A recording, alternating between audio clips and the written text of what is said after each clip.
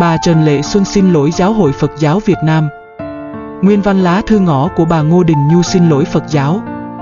Tờ Việt báo Kinh tế số 784 ra ngày 31 tháng 10 năm 1996 ghi lại theo tờ tin điện, phát hành tại Đức.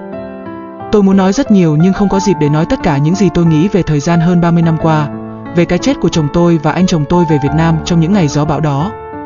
Hơn 30 năm qua, tôi nhốt kín đời tôi trong viện dòng tên ở La Mã, không tiếp xúc với người Việt Nam, không phải tôi không thương hay có thành kiến gì về đồng bào tôi, nhưng không hiểu sao lòng tôi vẫn còn nhớ hoài những ngày máu lửa do ngoại bang thúc đẩy, xúi dục phá rối nền đệ nhất Cộng hòa năm 1963, cho tới khi nào chế độ đó chết mới thôi. Thêm vào đó mỗi khi ra đường người ta thường hỏi tôi, ở tại sao những năm đó bà lộng hành, lấn quyền chánh phủ làm những điều trái tai, gai mắc đối với quần chúng. Tôi không biết trả lời thế nào khi mà cơ quan tuyên truyền của Hội đồng tướng Dương Văn Minh dùng mọi thủ đoạn bêu xấu bôi nhọ tôi. Muốn đính chính câu hỏi vừa nêu, trước nhất tôi phải có chứng liệu, phải có thời gian soi sáng sự việc và chứng minh lòng thành thật của mình.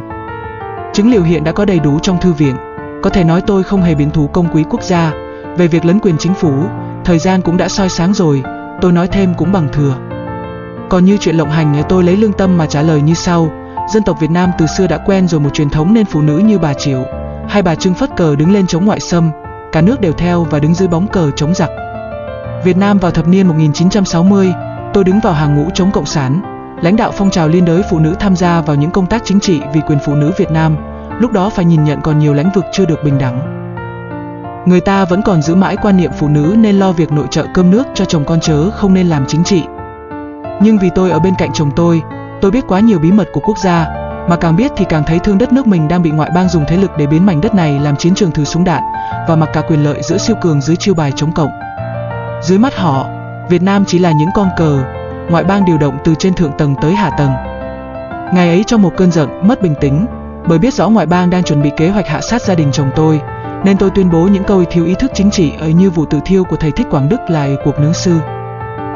Những ai ở cương vị tôi vào thời đó, đứng từ phía sau nền chính trị Việt Nam, nghĩa là hiểu rõ mọi chính biến do ngoại bang giật dây và do CIA điều khiển, thì chắc sẽ có những phản ứng như tôi, nhất là đàn bà thường nhận xét sự việc bằng tình cảm. Do đó tôi đã làm mất lòng giáo hội Phật giáo, vốn đã dạn nứt với chính quyền vì các cuộc tranh chấp xuất phát từ những nguyên nhân đòi hỏi truyền bá giáo lý của Phật giáo phải bình đẳng như Thiên Chúa giáo. Tâm trạng con người, khi vấy khi khác, nổi giận hay vui mừng đều có nguyên nhân. Khi chúng ta có thành kiến về một người hay một sự vật nào đó, bắt buộc phải có lý do. Nay, đời người chỉ là bóng câu qua cửa, sự vật đổi thay và con người cũng không tồn tại. Tôi đích thân tạ lỗi linh hồn thầy Thích Quảng Đức và xin Giáo hội Phật giáo Việt Nam ân xá những lời tuyên bố vô trách nhiệm của tôi 34 năm trước.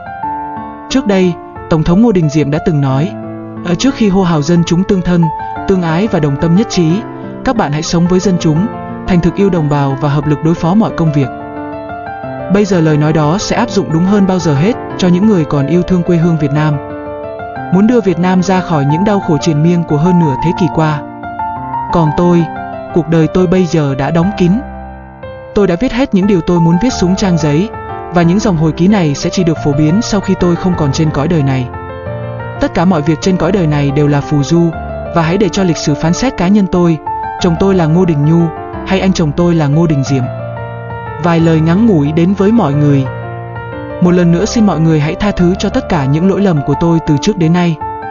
Xin kính chào quý vị.